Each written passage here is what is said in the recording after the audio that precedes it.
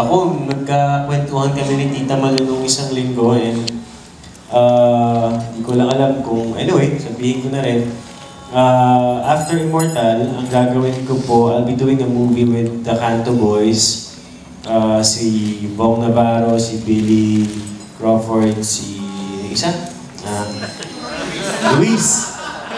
Luis Alandi. Ah, ayun po, ah, ano siya, nasa tema ng Eraserheads gagamitin namin yung lahat ng kanta ng, hindi man lahat, pero lahat ng mga pinakasikat na kanta ng Eraserheads. And then, after that movie, balik ako sa TV, sa isang teleserye ulit. Well, after yung movie namin ni Kuya Aga, um, may gagawin kami movie para sa anniversary ng MMK. And I'm very excited sa mga kasama ko doon kasi matagal ko na rin siyang gustong makatrabaho. Wala pa Si kasi kaming... si Beng Beng, hindi lang lang.